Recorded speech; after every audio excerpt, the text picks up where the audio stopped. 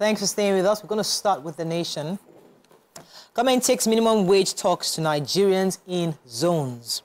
CBN slashes customs uh, forex duty rate.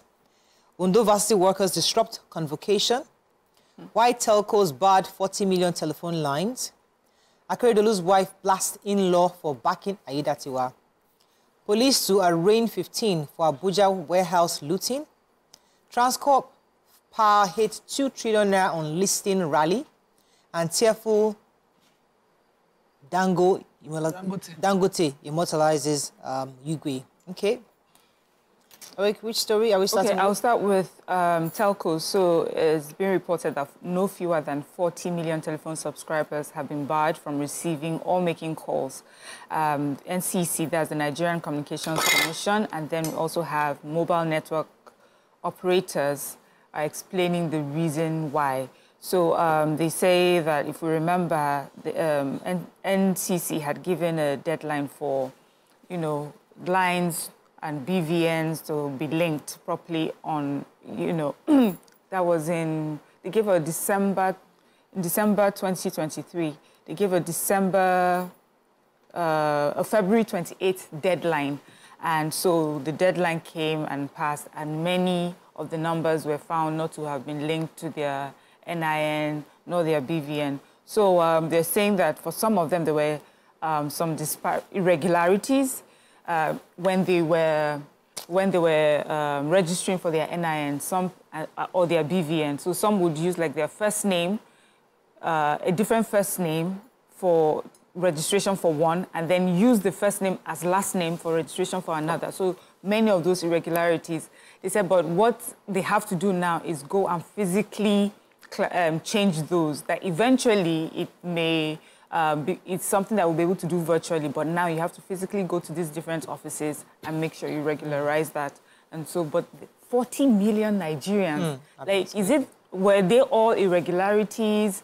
Uh, there's some that were, you know, just on our, the part of um, the banks as well and the, um, the mobile operators themselves, like, 40 million is just such a huge number. I, I am sure people's second numbers, third numbers, because I have a third number too that was probably... But you can link it But I didn't want well. to anymore. I just, okay. I dashed them. Let me take the major headlines. So, ongoing talks on the new national uh, minimum wage will take a break from the boardroom to the states and regions. So what the federal government is doing is they're taking away that conversation from Abuja to all the various zones.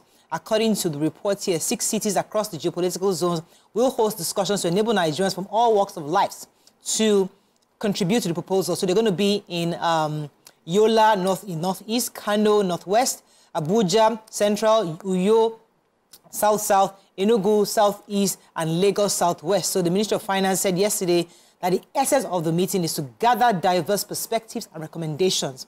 Um, they also said that in southwest, they expected to be, the meeting is supposed to be chaired by the Minister of Finance, Wale Edun, and um, others who are expected to be there are labor union, business leaders, government officials, um, even the Minister of, um, I think there's another minister, minister, to be there, of State of Labor and Employment um, in Kiruka, Onye Georgia would also be there.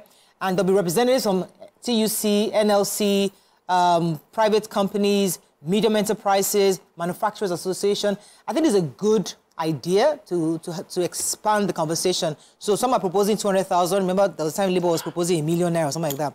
But either way...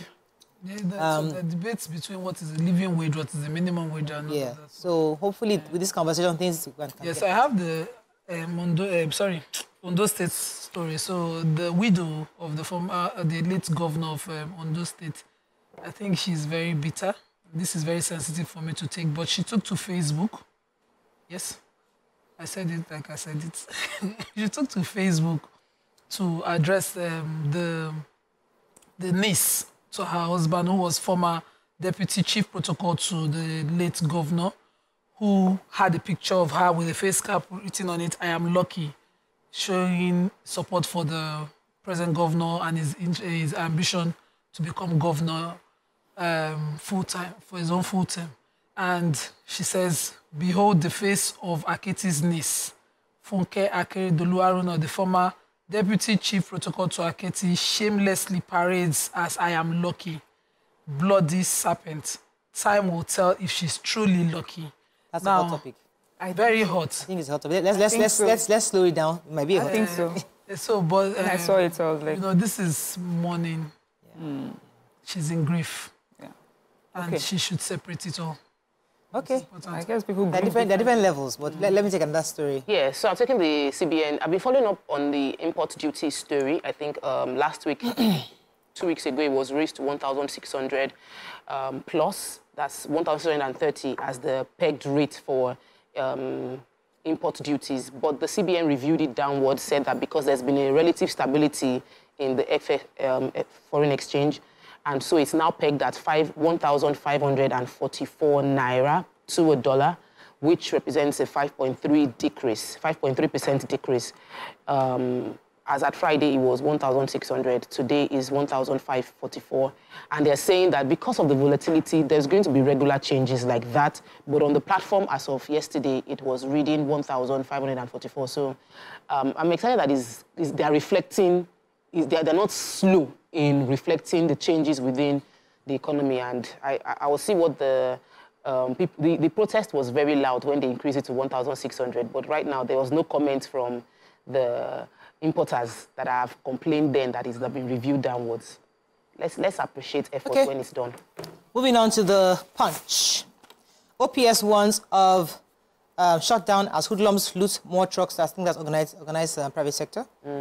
Banks involved in 70% of financial crime, says EFCC. Ooh, that's a lot. NSCDC Tompolo men raze Ondo oil thieves hideout.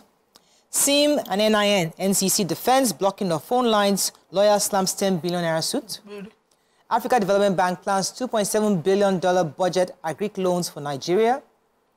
Dangote names refinery road after Wigwe. And approach Zimbabwe for solution to inflation, Obasanjo tells federal government. All right. Yes, I have um, banks involved in 70% of financial crimes. The EFCC chairman says at the um, annual retreat and general meeting of Association of Chief Audit Executives of Banks in Nigeria. So this is a retreat that they have annually. The EFCC chairman was there, and he pointed out that the banking sector was increasingly becoming a cesspool of fraudulent activities, and this has been um, raising considerable challenges and concerns to the commission. He explained it in two ways. He says this um, fraud that happens, he's, he talked about the outsider related one and the insider related ones. So he said that um, the outside related ones include maybe hacking, ATM fraud, conspiracy, among others. And then the insider related ones, he said that um, the uh, comprised of outright selling of customers' deposits, authorizing loan facilities, forgery, and several other kinds of unhealthy criminal practices. Then he says, then there's what happens where you now have the inside and the outside merging. That's a collaboration of criminals inside and outside. He says, and that is such a, you know, it's a, it's a disgrace that we have that right now in our banking sector. And so he was calling the body ACAEBIN to do everything that they can, you know, to do their part, which is um, make sure that they do proper reconciliation of accounts every month in accordance with the accounting requirements. And then um, the chairman of the body also said that, you know, the retreat is a time for self-reflection. They understand the responsibility upon them, and they're going to do everything to make sure that, you know, they sanitize the banking um, sector. Okay, let's go on a short break now. When we come back, we continue with our reviews. Stay with us. We'll be right back.